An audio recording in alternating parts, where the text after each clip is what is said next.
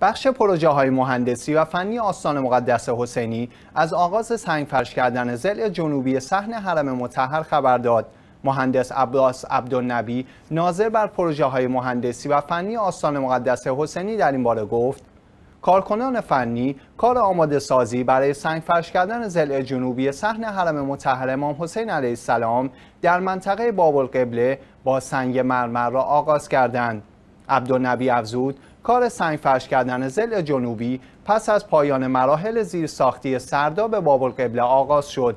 سنگ فرش کردن صحن حسینی با سنگ مرمر در دو مرحله انجام می شود. مرحله اول از باب و زینبیه تا باب القبله و مرحله دوم تا باب الرجا صورت خواهد گرفت.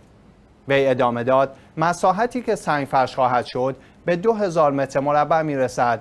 ناظر این پروژه گفت مدت زمان اتمام این پروژه سی تا چهر روز خواهد بود.